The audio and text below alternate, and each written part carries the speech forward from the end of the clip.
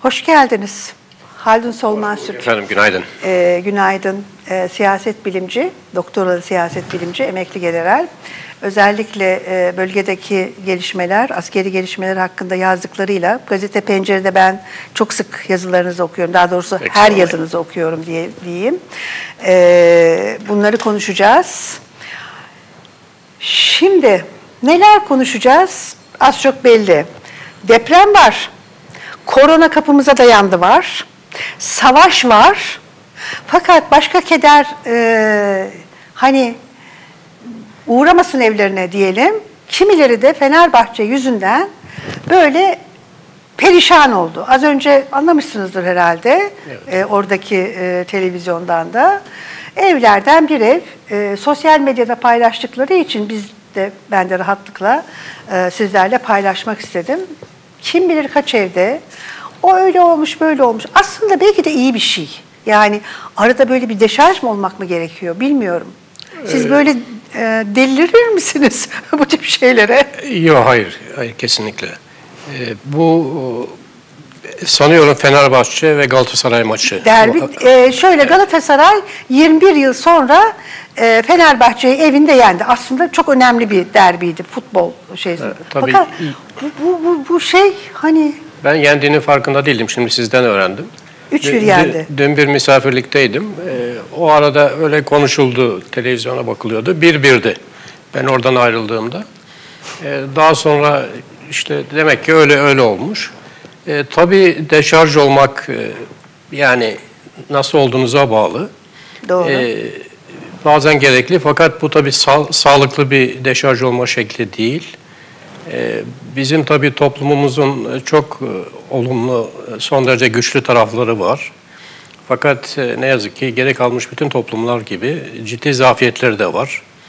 E, futbola bu kadar yani belli bir kitlenin tabii herkes değil şüphesiz. Bu kadar nasıl söyleyeyim sanki hayat memat meselesi gibi bağlanmak ve o maçtaki işte dünkü maç gibi veya bir başka maç Dünkü. da- sonucuyla e, kendi geleceğini, kendi şahsiyetini, kendi karakterini, kendi varlığını, kendi kimliğini özdeşleştirmek ve onunla ölmek, onunla dirilmek sağlıklı değil. Son derece sağlıksız. Şimdi e, sadece evdeki e, taraftarlar değil, e, tırnak içinde bağışlasınlar ama delirenlerden biri de e, Koç ailesinin e, son kuşak yöneticisi Ali Koç'tu.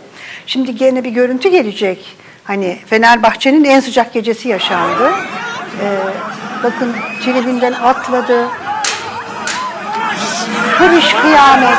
Ali Koç mu atlamış? Ali Koç yani tribünden resmen atladı. Ee, çocuklar baştan bir daha alsanıza tam görünmedi. Ee, bir daha baştan alsınlar arkadaşlar. Bakın görüyor musunuz? Yani e, ne demeli bilmiyorum. Tabii futbol muazzam bir endüstri, muazzam bir sektör. Ee, taraftarıyla, parasıyla, her şeysiyle. Ee, ama ben hep şöyle düşünüyorum. Az önce başlıkları saydım ya, korona, deprem, savaş, şehitler, şunlar. Yani e, onlara delirmeyip de buna delirmek Zaten sağlıksız derken bu- bunu kastettim. Ee, Şimdi tabii insanların ve toplumların veya milletler diyebilirsiniz e, gelişme aşamaları var. Yani böyle bir piramit gibi düşünün. Bunun tabii çeşitli teorileri var. Sosyolojide, psikolojide, siyaset bilimi de bundan istifade ediyor. Gelişme piramitleri var. En alt seviyede ilkel ihtiyaçlar yani yemek, içmek, yani hayatta kalmak için e, olan ihtiyaçlar. Yukarı doğru çıktıkça İkinci aşamada hani işte bir evinizin olması lazım yani kafanızı sokacak bir yer falan gibi. Sonra e, bir şeyle özdeşleşmek yani daha büyük bir grupla özdeşleşmek. Bu bir ihtiyaç haline geliyor. Ama bu e, yani, aidiyet duygusu Aidiyet. ihtiyacı dediğimiz Evet, şey. yani insan gelişme piramidinde çok alt seviyelerde, çok ilkel bir seviye aslında bu. İnsanların bunun üstüne çıkmadıkça toplumların örneğin demokrasiyi hazmetmesi, benimsemesi, hayata geçirmesi falan mümkün değil. Dolayısıyla e, bu tür tepkiler o nedenle son derece sağlıksız. Yani sağlıksız derken sağlıksız bir durumun göstergesi. Semptom bunlar. Bunlar semptom. Şimdi bakın o tepkilere gösteren insanları aynen alın mesela sokakta, trafikte de aynı tepkileri gösterir. İnsan ilişkilerinde de aynı tepkileri gösterir. Çünkü mesela en küçük bir e, davranış, en küçük bir sözü, yani ne bileyim mesela arabanın burnunu şu tarafa döndürmüş mesela önüne geçmişsiniz falan. Bunu kimliğine, varlığına, bir e, aidiyetine bir saldırı olarak görüyor, bir hakaret olarak görüyor ve buna buna buna tepki gösteriyor. Yoksa şimdi orada Fener Fenerbahçe yenilmiş anladığıma göre değil mi? Evet, evet. Evet. Şimdi mesela Fenerbahçe'nin yenilmesinin mesela bir saat sonra onun yemesine, içmesine, ertesi günkü hayatına, ülkenin geleceğine, bugününe ne olumlu ne olumsuz hiç hiçbir katkısı yok. Hiçbir katkısı yok. Hiçbir katkısı yok. Bir de şunu izninizle paylaşayım. Şimdi ben tabii hani siz açılışta e, belirttiniz, insanlar da tanır. Ben emekli askerim. E, Ve muharip e, sınıftadım. Dolayısıyla bizim tabii günlük hayatımızda yani sporun önemli bir yeri var. Yani eğitimin yarısını biz spora ayırırız. Ama biz bunu yaparken bizimki kitle sporu mahiyetindedir. Yani insanlar ondan faydalanır. Yani kişisel olarak da, mesleki olarak da. Şimdi buradakinin hiç böyle bir anlamı yok. Yani bazı insanlar e, astronomik paralar kazanıyorlar anladığım kadarıyla. Yine eğer yanılmıyorsam ben futbola ilgilenmediğim için yanlış bir şey söylüyor olabilirim. Yani oynayanların çoğu zaten Türk de değil. Hani sağdan soldan getirip Türk vatandaşı yaptıkları falan da var. Hatta milli takıma sokmak için. Yani bu son derece anlamsız. Bir de şeyi gördüm dün. e, yine böyle bir ara tele, şeye bakarken televizyona dikkatimi çekti. Şimdi bir e, mesela Fenerbahçe'nin stadı herhalde karşıda değil mi? Yani karşı tarafta o Fenerbahçe. Ay siz bayağı bu konuda uzaksınız futbol meselesinden. Yani yani dediğim gibi yani yani Evet, Fenerbahçe bunu- Kadıköy'de. Bunu ben anlamakta zorlanıyorum. Onun için ne kadar zorlandığınızı siz konuştukça ben de daha iyi anlıyorum. Şey, şey vardı eskiden Dolmabahçe Stadı. Şimdi herhalde o Beşiktaş'ın oldu değil mi? Evet, evet. Beşiktaş. Vodafone, Sonra İnönü e, oldu falan. Evet. Neyse. Galiba Şimdi mesela diyelim ki Fenerbahçe Beşiktaş'la maç yapmaya gelecek. İşte orada tuvaletler var. O tuvaletlerin bütün musluklarını, lavabolarını, aynalarını falan söker, sökerlermiş. Maçtan sonra tekrar takarlarmış. Eğer öyle olmazsa gelen Fenerbahçe kırarmış. Beşiktaş gittiğinde o da aynı. Bakın yani bunlar bunlara Sağlık Bakanı'nın, hükümetin bunlara alıp profil çıkartması, teşhis koyması ve toplum sağlığını düzeltmek için tedbir alması lazım. Yani şehir hastaneleri falan deniyor. Asıl hastalık bunlar. Bunlar, yani bunlarla uğraşmamız lazım. Yani bunların tedavi edilmesi lazım. Yani bunlar, bu görüntüler biz gülüp geçiyoruz veya yadırgayıp geçiyoruz. Çok ciddi e, semptomlar Şu bunlar. e, baştaki videoyu bir kez daha paylaşalım, oradan geçelim. Hani hakikaten bu kadar e, bu kadar tepki, bu kadar öfke e, hakikaten e, Haldun Solmaz, Solmaz dediği gibi hiç sağlıklı değil. Buyurun izleyelim, devam edelim.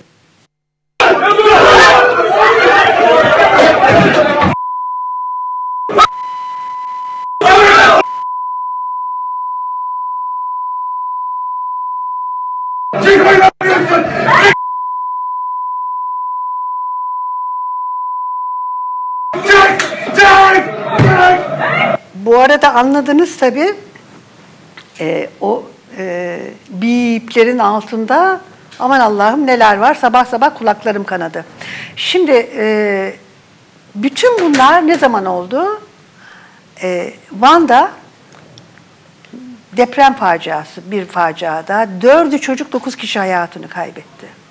Üstelik de e, Manisa'da gene deprem oldu. Üstelik de Manisa'da bu sabah yeniden e, sabaha karşı 4.8 Manisa'da bu sabah yeniden 4.8 oldu. Şimdi Türkiye sallanıyor, insanlar ölüyor vesaire. Bu arada belki hani o beyefendilerin ve yanındakilerin ruh sağlığını, akıl sağlığını korumanın yolu da budur. Bütün bunlardan uzaklaşmak. E, ama ben gerçekten de şaşırıyorum. Yani bu ülkede e, İstanbul'daki bakın Van'daki depremi ya bana uzak diyebilirsiniz ama İstanbul'dan bu görüntüler az önce izlediğimiz. İstanbul'da eviniz tehlikede. Beyler, hanımefendiler, o, e, videodakileri kastediyorum. Yani o takımınız için gösterdiğiniz o tepkiyi, öfkeyi Bunun için gösterseniz yahu ne yapıyor bu iktidar e, benim evim depremde yıkılacak tehlike kapıda deseniz anlarım da neyse anlamayayım ben gene. E, üstelik de şöyle bir şey oldu. Deprem İran'da oldu, evler Van'da yıkıldı. E, bugün ben sadece e, üç gazetede bu manşeti görebildim. Bir görelim. Şimdi evler hakikaten kerpiç evler üstelik de perişan, yerle yeksan. E, gazeteler işte bir gün e, karar ve yeni çağda hepsi aynı Ha. şeyi söylediler. İran e, sarsıldı ama Van e, yıkıldı ve e, can kaybı oldu. E, 5.9 büyüklüğünde. Bunu esas işte sorgulamamız gerekiyor bizim. Neyi sorgulayacağız? Görüntüde görüyorsunuz. Kerpiç ev üfleseniz yıkılacak. E, yaşlı bir adamcağız. Onun e, yıkılan evinin, evlerin önündeki ağıtı çok kısacık bir paylaşayım. Hani hani bu sesi duymamak mesela mümkün mü? Hiç bilmiyorum.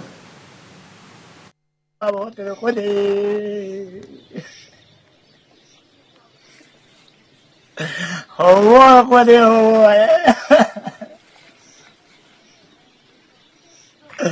Allah jode, Allah jode. Ee, İran demişken e, İran bize depremini, sarsıntılarını gönderdi ama e, artık e, yurttaşlarını e, gönderemeyecek çünkü sınırı kapattık. Ee, İran'da koronavirüsü nedeniyle ölenlerin sayısı çünkü 12'ye çıktı. En son haber bu. Ee, İran'da karayolu, hava yolu her şey durdu, kapatıldı. Şimdi bakın bu e, altta zaten e, dikkat edebilirsiniz belki. E, değişen bir şey var. E, saat var. E, bir grafik var. Bu canlı olarak e, ekrana geliyor. Anlık bilgi veren, sürekli anlık değişen bir şey. Toplam 79.408 e, vaka, 2612 ölüm, e, 25.006 da e, İyileşen. İyileşen. iyileşen Yani- ama evet iyileşen ama tabii yani Tedavi karantinada sürecinde. tutulduktan sonra Evet. bunlar iyileşen. E, bu arada e, 3434 işte e, sadece Çin'de daha e, şüpheli varmış vesaire. Gene sadece Çin'de 9916 ciddi durumda varmış. E, ölümlerin 2596'sı zaten Çin'de. Şimdi bir de harita gelsin. Bu haritada e, sosyal medyada bir e, kişi demiş ki bence demiş koronavirüsü demiş bizim ülkeye e, özellikle uğramıyor. O, koronavirüsünün tercihi demiş. Hakikaten tahtalara vurun inanırsanız böyle şeylere. Bakın e, sağımız solumuz ebe. Şimdi koyu kırmızılar ölümlerin yaşandığı yerler. E, en önemli şey e, malum Çin, Japonya'da da var ölümler. Hemen yanı başımızdaki o koyu kırmızı İran. Biraz sola gidin İtalya. Ee, buralarda e, ölüm vakaları var, ölümler var. Yani sağımız solumuz e, ölümlerin de e, görüldüğü e, bölgeler. Dahasını söyleyeyim bu konuda İran gerçekten çok fena gidiyor. İran'daki e, İran'dan bize gelen e, hani günübirlik ya da uzun vadeli insanları düşünürsek bizim için de potansiyel bir tehdit var. Hani elinizi yıkayın olacak mı bu iş bilmiyorum ama aman dikkat diyelim özellikle iktidardakilere, yöneticilere. Burada bir şey söyleyebilir miyim bu Bir konuda? notum daha var onu vereyim. Hayır, hayır. Ee, İtalya'da şöyle bir şey oldu. Bakın bir tren Avusturya'ya gidiyor. Ee, yolcular arasında e, tren görevlileri iki ateşli kişi var diye ihbar ettiği için e, sınırdan sokulmuyor. E, bir geçitte İtalya ile Avusturya arasında bir geçitte bekletiliyor tren. Hani o Cassandra geçidi gibi sinemalarda gördüğümüz her şey e, gözümüzün önünde cereyan ediyor. Şimdi buyurun. Şimdi tabii e, yani bu tür e, salgınlar tabii ilk defa çıkmadı ve nedense genelde uzak doğudan ve genelde Çin'den çıkıyor. Tabii ben e, tıp doktoru değilim netice itibariyle. E, tabii çok fazla seyahat eden ülkeler vatandaşları, Tabii. e, çok fazla seyahat eden ülkeler için risk daha fazla. Fakat bizimle ilgili ben e, bir konuya dikkat çekmek istiyorum. Yani Sağlık Bakanlığı, İçişleri Bakanlığı bunun farkında mı değil mi bilmiyorum. Değillerse ben uyarıyorum. Şimdi bu sınır kapısı işte Gürbulak'tan vardır bizim İran'dan Evet. girilen. Van- Van'ın aşağıda bir vardır e, asıl, asıl olarak. Bir de biraz daha kuzeyde Iğdır'ın e, şey, Nahçıvan'a açılan. Oradan da İranlılar zaman zaman girerler. Şimdi bakın e, bize gelen e, işte dünya kadar şey var, sığınmacı var biliyorsunuz. Bunların büyük bir kısmı Suriye-Irak sınırından girer ama diğerleri İran'dan gelir. Bunların çok az bir kısmı e, sınır kapılarından geçer. Yani bizim sınırlarımızdan geçer. Yani sınır kapısı dışındaki yerlerden geçerler. Ee, ve Doğru. bunların kontrol edilmesi çok çok zordur. Çok çok zordur. Dolayısıyla yani nasıl olsa biz kapıyı kapattık. Efendim işte tren geçişini, hava yolu geçişini, karadan geçişi falan e, durdurduk. Yani e, bu, bu şekilde durdu- durdurulamaz onu söylüyorum. Ve e, sınır böyle elek gibi düşünün. Elek gibi her taraftan insanlar gelir geçer. Ne kadar tedbir alırsanız alın. e, bunu afaki söylemiyorum. Ben o bölgede hudut tabur komutanlığı yaptım. 50 kilometrelik cepheden ben sorumluydum. Oo. Ne kadar zor olduğunu biliyorum. E, ve e, Bir kere kaçakçılık e, nedeniyle belki 100 yıldır kullanılan yollar var. Efendim yüzlerce yüzlerce yıldır. Ya da yüzlerce yüzlerce yıldır, doğru. yıldır. Şimdi bildiğiniz standart kaçakçılık vardır, adi kaçakçılık. Bunun için çok farklı şeyler de mesela uyuşturucu, silah vesaire de girer. Şimdi son işte aşağı yukarı 20 senedir şey gündeme geldi. Bu insan kaçakçılığı. Mülteciler. Bu evet. burada çok büyük para paralar var. Onlarla beraber uyuşturucu mutlaka gelir. Başka şeyler gelir ama uyuşturucu özel olarak gelir. Çünkü pahalı ve taşınması kolay. Üçüncüsü terör terör geçişleri. Bütün cephe boyunca yani Iğdır'dan, Nahçıvan sınırından alın. Ta aşağıya Çaldıran, Van başlar.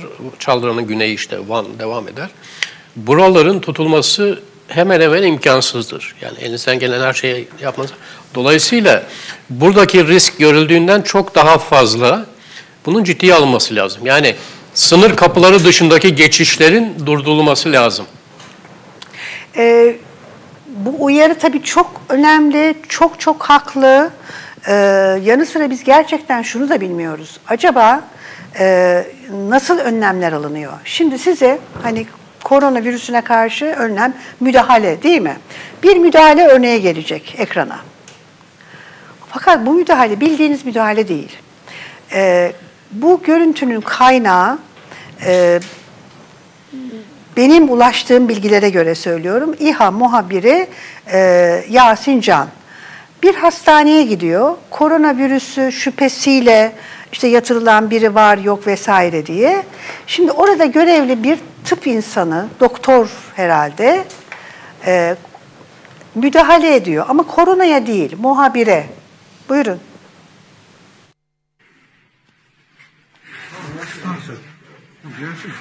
Tamam merak etme. Çıksana sen ya. Gel bulaştıran gel. Gel içeri girelim de bulaştıran gel. Gel gel. Beni bırakır mısınız? Montumu yırttınız şu anda. Beyefendi montumu yırttınız. Ben görevimi yapıyorum beyefendi. Terbiyesiz tamam mı? Gel gel içeride görev yap gel. Gel içeride görev yap. Gel. Beni bırak ya, beni bırak. Gel gel içeri girelim de orada yap gel. Gel içeri girelim de orada yap gel. Ben görevimi yapıyorum beyefendi bırak. Terbiyesiz. Kolumu bırak. Kolumu bırak. Silahı uyarmam bak söylemem bak. Şimdi bir yanda e, koronavirüsü meselesi, diğer yanda az sonra konuşacağız. Savaş meselesi, ekonomiyi de e, sarsıyor elbette. Savaşa geçerken koronadan ekonomiye dair iki önemli notu paylaşalım. E, dolara müdahale ede ede hazinede para kalmadı. Gene inanılmaz e, miktarlarda e, merkezden e, satışla müdahale oldu. Hani koronaya müdahale, dolara müdahale falan olmuyor yani. Eğer e, gerçekten e, hakiki önlemleri alamıyorsanız olmuyor. Dolar e, bugün bakın e, bu sabah ki çıkışı bu. E, 6.14 lira. Yani 6 lirayı geçti. 6 0 1 2 falan derken 6.1 de yükselişi devam ediyor. E, bu arada altında da yeni bir rekor kırıldı. E, söylerken bir, hakikaten şey yapıyorum hani acaba yanlış mı söylüyorum diye tereddütle söylüyorum. Çünkü 10 gün kadar önce aman Allah'ım dolar 500 çeyrek dolar demişim affedersiniz. Çeyrek altın 500 liraya geçti demiştim. Geçen cuma aman Allah'ım e, çeyrek altın 523 oldu dedim. Şimdi çeyrek altın yeni, e, yeni rekorla 544 lirada. Ee, böyle olunca tabii e, iktidar Hep Yeni kaynaklar bulmaya Yabancı güçler yapıyor bunlar efendim. Hep doğru haklısınız güçler. konuşacağız. Ye- Değil, dış yedi, mihraklar. yedi, yedi düvel, yedi düvel birlikte Doğru, saldırıyorlar. Doğru. Şimdi öyle olunca para lazım. Sözcü gazetesi nereden bulacağını manşete atmış bugün. Ee, diyor ki kaynak arayan iktidardan milyonları üzecek hazırlık. Çalışan emeklinin belini bükecekler.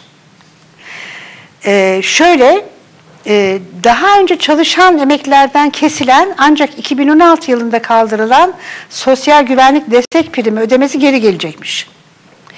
Yanı sıra şu anda SGK'lı birinin ölümü halinde yaş şartı aranmadan maaş eşine bağlanıyor biliyorsunuz. Buna 30-35 yaş sınırı gelecekmiş.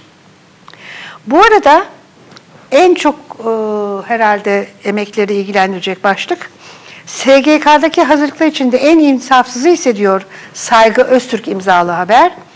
Emekliden yapılan sağlık kesintisinde olacak. Hazineye kaynak yaratmak için çalışan emeklilerin maaşından yüzde beş sağlık kesintisi planlanıyor. Altındaki fotoğrafa dikkatinizi çekerim. Bakın yüzde beş sağlık kesintisi planlanıyor diyor. Altta da bir beş var ama o beş yıldız. Ne o beş yıldız? Diyanetten beş yıldızlı toplantılar. Bakın Antalya'da muazzam lüks oteller böyle kapatılıyor. Beş yıldız alt. Bunların beş yıldız olur mu? Altı yıldız, yedi yıldız. Arkadaşlarımız, meslektaşlarımız gene insaflı davranmışlar. Ve eee, bir yandan Diyanet böyle toplantılar yapıp konuşuruz. Neler neler konuşurken, planlarken e, sıcak bir gelişme. Onunla başlayalım. E, Sa- Sadede gelelim. E, sabah saatlerinde gelen bir haber. E, Türk Silahlı Kuvvetleri konvoyu İdlib'e girdi. İdlib'de. Haberin başlığı bu. E, 50 araçlık bir konvoymuş. Fotoğrafı veriyor muyuz arkadaşlar? Heh. Şimdi 50 araçlık konvoy e, Suriye Milli Ordusu dedikleri e, ÖSO askerleri de Türk askerlerini eşlik etmişler. Netice itibariyle Sayın Haldun Solmaz Türk, Erdoğan zaten dedi ki ben buna savaş derim dedi artık. Hani e, yandaş medyada böyle kıvranıyordu ya buna harekat mı diyelim, operasyon mu diyelim, ne diyelim derken Erdoğan adını koydu dedi ki bu bir savaştır dedi. Bu ne hakikaten savaşta mıyız size göre? Yani İdlib'e Türk Silahlı Kuvvetleri konvoyunu girmesi. e, siz o bölgeyi de gayet iyi biliyorsunuz. Bir muharip e, emekli asker olarak. Bir anlatsanıza. Bütün bunlar ne anlama geliyor? Şimdi tabii Erdoğan'ın e, buna savaş demesi yani artık savaş demekten bir siyasi fayda umduğunu gösteriyor. Yoksa bu savaş uzu- uzunca bir zamandır devam ediyor. Şimdi geçen Adını ge- koyması He, adı- sadece. adını koyması önemli. E, ve tabii e, endişe verici. Yani ürkütücü. Yani adını koymuş olması. Şimdi kendisi zaten bundan e, iki önceki grup toplantılarında, şimdi bu kadar kritik konuları grup toplantılarında anlatması da tabii enteresan. Kendisi ülkenin cumhurbaşkanı, ülkenin BK'sı ile ilgili hayati konuları yani savaş gibi, asker gönderme gibi hayati konuları gidiyor e, AKP grup toplantılarında anlatıyor. Ama netice itibariyle orada anlatıyor. Yani son iki haftadır anlattığı ve daha sonra şu partiye üye kaydı törenleri vardı. Hani telefonda konuştu, güldüler falan bütün e, malum kanallar canlı yayında verdi. Şimdi orada söyledikleri yani bu üç et- etkinlikte söylediklerine bakarsanız e, tabii çarpıcı. Şöyle diyor, bir kere Rus güçleriyle İran destekli militanlar sürekli sivil halka saldırıyor, katliam yapıyor, teröristleri değil doğrudan sivil halka hedef alıyor. Bu tabii halkı hazırlamaya dönük. Yani e, bakın biz buraya gidiyoruz, bunları bunları yapıyoruz ama bunun sebebi var. İşte Ruslar ve işte İranlı milisler ve Suriye ordusu teröristleri değil, sivil halka hedef alıyor, katliam yapıyor. Bunu böyle söylüyor. Ve biz de hani buna göz yumacak halimiz yok. Yani bakın insanlar öldürülüyor, onun için gidiyoruz falan gibi. Yani insanların e, insani damarına hitap etmeye çalışıyor. Oradan şey konuya geliyor. Diyor ki Şubat ayı bitmeden geri çekilmezlerse rejim güçlerini belirlediğimiz sınırların ötesine kadar kovalayacağız. Bu savaş ilanıdır. Yani bu önceden bildirerek savaş ilanıdır. Yani ne zaman savaşa yani harekat başlatacağını söylüyorsunuz. Sonra diyor ki karada ve havada ne gerekiyorsa yapacağız. Şimdi bu karada ve havada dediği doğrudan doğruya Rusya'ya tehdittir. Çünkü Rusya bizim hava kuvvetlerimizin e, yani Suriye hava sahasına girmesine artık izin vermiyor. Şimdi karada ve havada ne gerekiyorsa yapacağız demek Ruslara siz izin vermeseniz de biz hava kuvvetlerimize gireceğiz demektir. Bu arada e, Suriye yönetiminden e, hava sahamızı ihlal eden her uçağı vururuz diye de iki gün önce ya dün ya önceki gün bir, çok net bir şey geldi, açıklama o, geldi. O tabii açık. O, o çok açık. Ama şimdi tabii e, şey diyor ki yani yine Erdoğan o, o konuşmasında yani ikinci grup konuşmasında iki, evvelki hafta askerlerimize ve birlikte çalıştığımız dost unsurlara havadan ve karadan yapılan her saldırı kaynağın aidiyetine bakılmaksızın, uyarılmaksızın misliyle cevaplandırılacaktır. Şimdi bu, bu şu demek. Yani biz buraya sadece askerle girmedik. Eğer bir hava aracı gelirse, yani bizim bulunduğumuz bölge veya 50 bin üzerine, bize veya birlikte bizimle çalışan dost unsurlar, dost unsurlar dediği oradaki insanlar. Yani sadece Özgür Suriye Ordusu veya şimdiki Suriye Milli Ordusu değil, aynı zamanda HTŞ yani dost unsurlar dediği bunlar. HTŞ'de dost unsurlardı ama. E, burada bir ayrım yapmadığına göre dost unsurları burada Bir kasıtlı kullanıyor. açmama müsaade edin. Şimdi HTŞ'nin lideri Erculani. Şimdi bu Erculani denen adam e, siz de muhakkak biliyorsunuzdur. Daha önce yaralandı ve Hatay'a getirildi. Tedavi gördü diye. O zaman El Nusra e, içindeydi. Fakat daha sonra e, El Nusra e, HTŞ olarak evrim geçirdi. El-Kaide'ye biat etti gibi bir takım şeyler oldu.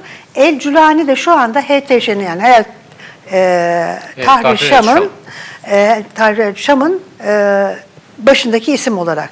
Şimdi o 15 Şubat gibi bir röportajından alınma bir e, ifade bakın. Diyor ki bu savaş Suriye halkının savaşı, bölgede genel olarak tüm Sünnilerin savaşıdır. Bu savaş için çok ağır bir bedel ödedik. Şimdi sonuna yaklaştık. Biraz daha fazla sabır gerek. Bizim İdlib'de zafer kazanmamız bölgedeki tüm kavimler için yararlı olur. Özellikle de Türkiye için. Şimdi siz Heyet Tarşam demişken e, Türk konvoyu tekrar söyleyelim 50 araçlık bir e, Türk Silahlı Kuvvetleri konvoyu İdlib'e girdi. E, yeni adı Milli Suriye Ordusu konulan saray tarafından ÖSO eşliğinde ve yanlarında da tırnak içinde dost unsur olarak Haldun Solmaz Türk'ün dediği gibi Heyet Tahrir Şam militanları var. Şimdi bunlar kime dost? İşte bu Sünni Savaşı dedikleri cihat çerçevesinde. Şimdi tabii bu söylem aşağı yukarı Erdoğan'ın söyleminin aynısı. Yani kelimeler farklı ama aşağı yukarı aynı aynı söylem. Şimdi Heyet Tahrir el Şam dost mu değil mi? Tabii resmi olarak bu terör örgütü ilan edildi hükümet tarafından. Ama bizim Türkiye-Suriye sınırını Suriye tarafına geçtiğiniz anda Heyet Tahrir el Şam'ın kontrolü altındaki bölgeye girip onlarla muhatap oluyorsunuz onlarla koordine etmeden, onlarla işbirliği yapmadan, onlarla dost kalmadan terörist ilan etmiş olmanıza rağmen onlarla dost kalmadan zaten sizin bu konvoyları oraya sokmanız, götürmeniz, emniyetini sağlamanız zaten mümkün değil. Mümkün değil. Şimdi bakın şey e, Erdoğan da diyor ki o Bir ikinci dakika konuşma. şunu açın ama neden mümkün değil? E çünkü, bölge onların kontrolünde. HTŞ'nin kontrolünde. Tabii bölge tamamen onların kontrolünde. Yani küçük cepler halinde hani ılımlı muhalif Bu. HTŞ dediğimiz şey ne? El yani, Nusra, eski El Nusra. Ve El-Kaide. Tabii e, tabii gayet tabii tabii. Yani El-Kaide bağlantılı El, El Nusra'ydı. Yani biz İsimlerini değiştirdi. El-Kaide'nin bir bakıma kontrolü altında mı buradayız? Bakın e, yani tabii hani bağlantı olarak öyle ama fiili olarak Türk devletinin resmi olarak terör örgütü ilan ettiği Heyet Tahrir El Şam'la koordineli, anlaşmalı işbirliği içinde olmadan zaten burada kalmanız mümkün değil. Şimdi bakın bir fiili durum var dediğiniz gibi. Ama bir de hani resmi açıklamalar durum var diyorsunuz. Ama şunu da e, yalanlanmayan e, ve açık kaynaklardan gelen bir bilgi. E, ÖSO e, sözcüsü yani sarayın Milli Suriye Ordusu adını taktığı hatta Erdoğan'ın e, en son Libya'ya birazdan geleceğiz. Libya'ya da işte bizim askerimizle birlikte gitti dediği yani Türk Silahlı Kuvvetleri'nin neredeyse yedeğindeki ÖSO'nun sözcüsü biz artık Heyet Tahrir Şam, Şam'la anlaştık ve Esad'a karşı birlikte savaşıyoruz, savaşacağız dedi. Yani e, sadece sahada ve fiiliyatta değil resmen de dost kuvvet. Şöyle, şimdi bu önce şunu söyleyeyim yani unutmadan. Şimdi bakın bu bağlamda yani şunları anla, yani burada olanı anlatmak dedim yani Erdoğan'ın söylemi aşağı yukarı aynı, sınır, kelimeler farklı. Şimdi Erdoğan diyor ki amaç Suriye'yi terör örgütlerinden ve rejimin zulmünden temizlemektir. Şimdi bugüne kadar neydi? Önce bir hani şeye gireceğiz, Şam'a gireceğiz, Emevi Camii'nde namaz kılacağız falan vardı. Sonra o, de- o, o değişti. Hı hı. Sonra IŞİD'le mücadele oldu. IŞİD kovalandıktan sonra o bölgeye PKK, YPG girdi. Sonra terör koridorunu temizlemek için dendi vesaire. En son tekrar tekrar şeye dönüldü. E, terör örgütlerden temizlemeye. Şimdi en başa dönüldü. Rejimin zulmünden. Yani amaç Suriye'yi sadece terör örgütlerinden temizlemek veya terör tehdidini yani bizim sınırlarımıza ve milli bütünlüğümüze dönük terör, tehdidini ortadan kaldırmak değil. Tekrar en başa rejimin zulmünden kurtarmaya döndü. Yani rejimi dolayısıyla rejimle birlikte olan İran ve Rusya'yı karşınıza aldınız. Yani Astana, Soçi falan hepsi Yani İptal. siz bakın, siz ülkenin cumhurbaşkanı yani yürütmenin başı olarak amaç rejimin zulmünden Suriye'yi temizlemek derseniz onları çöpe atmış oluyorsunuz. Ha bir de bunu bunu desteklemek için diyor ki yani bunları tabii kim anlatıyor bilmiyorum. Suriye'de halk Türkiye, Türkiye, Türkiye diye elde bayrak, sokak Türk bayrağı sokaklarda dolaşıyor. Yani Suriye'de Suriye halkı ellerinde Türkiye bayraklarıyla Türkiye Türkiye diye sloganlar atarak işte o Fenerbahçe veya işte Beşiktaş maçı taraftarları gibi sokaklarda dolaşıyorlarmış. Biz de bu isteğe cevap olarak gidiyormuşuz. Yani bunu böyle anlatıyor. Ama işin özü şu yani esas olarak e, şu anda Suriye ve Suriye üzerinden onun yanında olan Rusya ve İran'a savaş açılmış durumda. Bunun gereği bu sadece Rusya'ya da. Rusya'ya da açılmış durumda. Bu sadece laf olarak değil, bölgedeki askeri yığınak ve askeri eylemler olarak da yapılıyor. Şimdi burada kritik bir gelişme oldu. Yine aşağı yukarı 10 gün önce.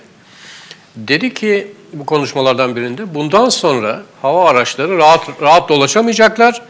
Biz dedi buradaki unsurlara her türlü yardımı yapıyoruz. Zaten onlar da karşı taarruza başladı dedi. Yani rejimi atmak için. Bunu dediğinden kısa bir süre sonra arka arkaya iki helikopter düşürüldü. Bunlarla ilgili tabii sosyal medyada çeşitli şeyler var, dolaşıyor. Yani bunların hangisi gerçek, hangisi değil. Onu kestirmek zor ama Suriye helikopteri. Suriye helikopteri, yani Suriye devletinin helikopterleri. Ama yani bunların hiçbiri doğru değil demek mümkün değil. Çünkü Erdoğan'ın beyanı var, e, düşürülen helikopterin görüntüleri var ve Milli Savunma Bakanlığı nedense bir helikopter düşürüldü diyor, onu bize bildiriyor. Şimdi Milli Savunma Bakanı'na ben söylüyorum, ya bizim ihtiyacımız olan, bizim merak ettiğimiz efendim nerede hangi helikopterin düşürüldüğü değil. Bu kadar birlik nerede konuşlu? Ne maksatla orada? Ne tür bir harekat öngörüyorsunuz? Hangi siyasi sonucu elde etmek için? Hangi askeri hedefi ele geçirmek için siz oradasınız? Sen, sen bize söyleyeceksen Türk halkına sen bunları anlat. Orada savaşan bizim çocuğumuz. Harcanan para bizim bütçemizden, bizim vergilerimizden verilen para. Her neyse şunu söylemek istiyorum esas olarak. Bu tabii asker olmayanlar veya hani uluslararası siyasete çok aşina olmayanlar için böyle vakaya adiyeden günlük bir olay gibi geldi geçti. Bakın biz gerekli desteği veriyoruz. Bundan sonra hava araçları İdlib'in üzerinde uçamaz dedikten sonra devlet başkanının, cumhurbaşkanının iki helikopterin düşmesi bu savaş ilanının ötesinde savaşın başlatılmasıdır. Zaten adını da koydu nitekim. Ha, şimdi yeni koydu ama daha o, o zaten Doğru, savaş doğru. ilanıydı. Şimdi bir de şu var bakın. Bu da yine uluslararası ilişkilere aşina olmayanlar için yine gözden kaçıyor. Yani Türk Silahlı Kuvvetleri unsurlarının ne kadar büyük bir riskle karşı karşıya olduğunu gösteriyor. Birincisi bir kere asker askeri olarak bu kadar büyük çapta birlik, bu kadar küçük bir alana sıkıştırılmaz. Bunların dağıtılması, tedbir alınma, harekat emniyeti diyoruz biz buna. Ve bunun mutlaka hava örtüsünün sağlanması lazım. Yani hava savunma ve hava örtüsünün. Şimdi hava hava örtüsü, hava savunma silahlarıyla sınırlı. Ve anlaşıldığına göre hava savunma silahlarının kullanılmasında da ciddi bir sınırlama var. Yani Rusya'yı provoke etmemek için bütün şeylerden sonra. Fakat asıl, asıl sorun şu. Şimdi uluslararası hukukta ön alıcı taarruz diye bir kavram vardır.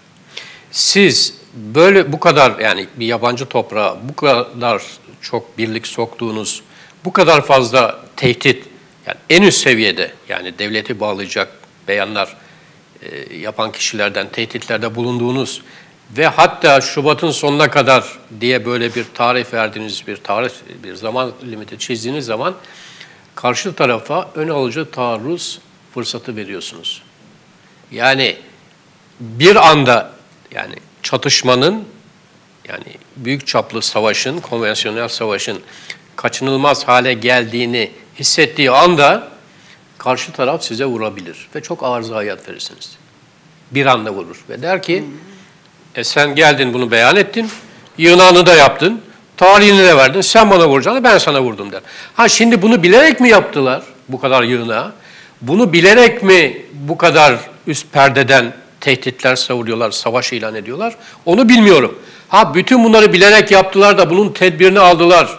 Biz farkında değiliz. Olabilir belki. Onu da Ee, bilmiyorum. siz- Ama risk yüksek. Siz hem bir emekli muharip e, general subay olarak hem de işte siyasa, siyaset bilimci olarak e, farkındayım. Zaten defterinize de böyle gün gün neredeyse günlük tutar gibi notlar alıyorsunuz. Siz de mi bilmiyorsunuz yani bunun gerçek hedefine hani satır aralarında okuduğunuzu biliyorum. E, siz bile e, iktidarın hedefini, yol haritasını anlayamadınız mı? Nedir yani ya da bize anlatın anladıysanız. Nedir Allah aşkınıza? Şimdi ben 2012'den beri yani bu işin başladığı zamandan beri 8 senedir e, buraya gir, böyle girmeyin. Ben tabii deniyor ki bize diyorlar ki hani Bay Kemal diyor ki efendim işte Suriye'de ne işimiz var? Yani kimse Suriye'de ne işimiz var demiyor. Ne işimiz olduğunu anlatın diye soruyoruz. Ben de soruyorum. Ne iş ne işimiz olduğunu anlatın. Yani şu demek. Bir askeri birliğe yani bir komutanla mesela şimdi hükümet genelkurmaya, genelkurmayda kara kuvvetleri komutanlığına bir emir veriyor değil mi? Bir, bir harekat emri veriyor. Bu harekat emrinin özünde özünde şu vardır. Şunu yapacaksın yani senin askeri görevin şu. Bu askeri görevin başarılması halinde bizim öngördüğümüz siyasi sonuç şu. Ve sen şu koşullar yani şu siyasi koşullar ol- oluştuğunda tekrar Türk sınırları içine döneceksin. Buna nihai sonuç diyoruz askerlikte. Şimdi bu niha, öngörülen nihai sonucun ne olduğunu hükümetin bildiğinden emin değilim. Yani en başta ordu için Suriye'ye girdi ve hangi koşullar oluştuğunda ordu Suriye'den geri gelecek veya Libya'dan geri gelecek. Yani sınırı geçmeden önce ne zaman geri döneceğinizi bilerek girmeniz lazım. Girmezseniz o zaman işte maceraya giriyorsunuz. O zaman o zaman bataklı, bataklığa giriyorsunuz. Tabii burada kilit soru şu. Kilit soru şu. Hükümet yani bizi yönetenler veya yöneten bir kişi tabii yani etrafında bir grup insan zaten hani onun e, Tayyip Erdoğan'ın e, değerlendirmelerini böyle ya öyle olur mu falan diyecek kimse zaten etrafında bırakmadı. Dolayısıyla bir kişiden söz ediyoruz. Şimdi o bir kişinin kafasında nasıl bir Suriye geleceği var onu bilmiyoruz. Kendisinin bildiğinden emin değilim. Ha ama ama şunu biliyoruz. Türkiye'nin ulusal çıkarları mevcut sınırlar içinde üniter yapısı ve toprak bütünlüğü korunmuş bir Suriye gerektiriyor Türkiye'nin ulusal çıkarları. Dolayısıyla Suriye'nin bölünmesine giden her adım, her istikamet, her siyasi ve askeri eylem, girişim bizim aleyhimize. E, bunu teyiden hatırlatmakta fayda görüyorum. Şimdi hem o Astana sürecinde bütün bunlar konuşuldu sonra Soçi mutabakatında kağıda döküldü. Dendi ki taraflar ki biri Türkiye'dir bunun Rusya, İran ve Türkiye e, Suriye'de e, siyasi e, birliğin ve toprak bütünlüğünün yanındadır taraflar. Yani biz Suriye'nin toprak bütünlüğüne ve siyasi birliğine saygılıyız, dokunmayız demektir. Ama bütün bu yaşananlar sizin az önce söylediğiniz gibi tekrar Şam rejimini devirmek, yani bölgeyi işte terörden temizlemek falan bütün bunlar geride kaldı sanki. Evet tabii Ee, yani rejimin zulmünden temizlemek Evet, amacımız diyor. evet yani Şam rejimini yani Esad'ı devirmeye döndü. Tabii en Ee, başa döndük yani 2012'ye döndük. 2012'de de onun için Kamuoyu girdik ya. farkında mı? Yani biz e, iki soru iç içe gelecek. Lütfen birlikte cevap verin. Şimdi biz birlik e, bir terör temizliği adı altında işte Barış Pınar Harekatı oldu, o oldu, bu oldu falan e, bir dizi operasyona tanık olduk. Bunun için tezkereler çıktı. Bunun bir savaşa dönüştüğünün ne kadar farkında kamuoyu? Bir. ikincisi bugün e, ben de hafta sonunda bir günde aynı soruyu sormuştum. E, Kılıçdaroğlu e, sordu. Hani madem e, savaş diyor Erdoğan İdlib'de meclisin niye haberi yok sorusu. Şimdi meclisten alınan tezkere başka bir amaçla savaş için değil herhalde. Nasıl yorumluyorsunuz? Şimdi tabii burada muhalefetin, siyasi muhalefetin ciddi zafiyeti var. Bu bugün değil yani son 14 senedir bu zafiyet devam ediyor. Şu anlamda bu şu anda geçerli olan tezkere, yani Libya'yı demiyorum yani Suriye, Irak'la ilgili tezkere, geçen sene Ekim'de geçti meclisten. Ve hepsi hepsi destek verdiler. Hatta ana muhalefet partisi başkanı e, Sayın Kılıçdaroğlu yani içimiz yana yana işte evet diyoruz anlamında bir şeyler söylemiş. Yani kelimeler farklı olabilir. E, fakat tezkere öyle getirildi ki yani gidecek kuvvetin çapı, bu gidecek kuvvetin niteliği, gideceği yer, bunun görevi, gitme zamanı e, hepsi hepsi Cumhurbaşkanı'na bırakıldı. Şimdi anayasanın 92. maddesi savaş ilanı ve Türk Silahlı Kuvvetleri'nin yurt dışına gönderilmesi ve yabancı kuvvetlerin işte Türkiye'ye kabul edilmesinde meclisi yetkili kılıyor. Evet. Şimdi bu, bu ne demek? Yani bundan sorumlu olacak, yani bunu hayata geçirecek, uygulayacak olan hükümet meclise gidecek. Şu maksatla, şuraya, şu çapta, şu nitelikte bir birlik göndermek istiyorum ve şuraya göndermek istiyorum. Şu gün şu zaman göndereceğim. Şu kadar süreyle kalması ve şöyle bir görev icra etmesini öngörüyorum diye meclise gidip anlatacak, izah edecek, meclisin sorularına cevap verecek. Meclis uygun görürse bizim adımıza, hepimizin adına, yani halk adına uygun görürse hükümete tamam peki bu kuvveti bu maksatla buraya şu zamanda şu görev için gönderebilirsin diyecek veya diyecek ki hayır yani tartışılacak. Bu böyle değil, şöyle olsun. Bu kadar kuvvet değil, şöyle kuvvet gönder. Milli Savunma Bakanı oraya çağrılacak. Genelkurmay Başkanı çağrılacak. Onlara sorular sorulacak. Yani devlet, devlet gibi devlet böyle yönetilir. Ama şimdi siz devleti yani 80 küsur milyonluk, 700 küsur bin kilometre karelik bu kadar bin senelik devleti bir kabile gibi, aşiret gibi yönetmeye kalkarsanız işte getiriyor diyor ki işte şu benim tezkerem buna ya evet ya hayır diyeceksin. Hiçbir tartışma yok. Gruplara 30'ar dakika veriyorlar.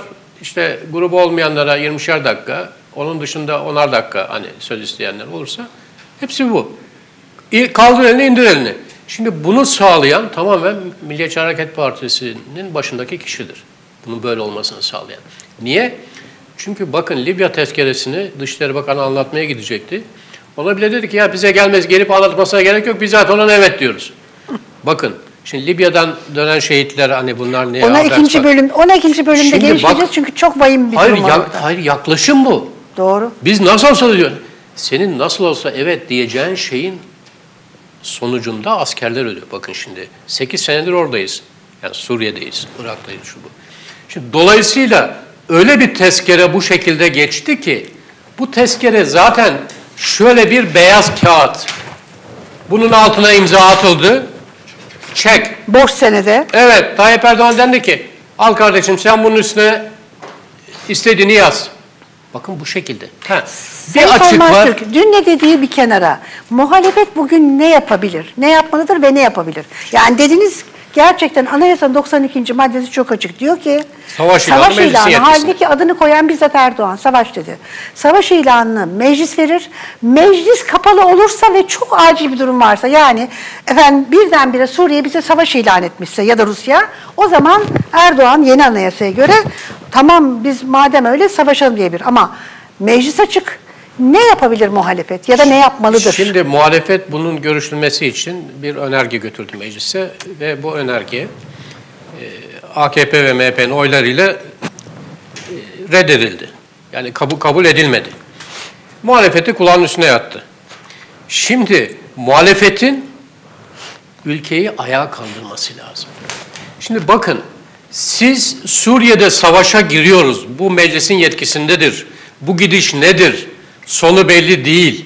Hani işte bindik bir alamete gidiyoruz kıyamete dedi bir önerge verdi. Bu reddedildi.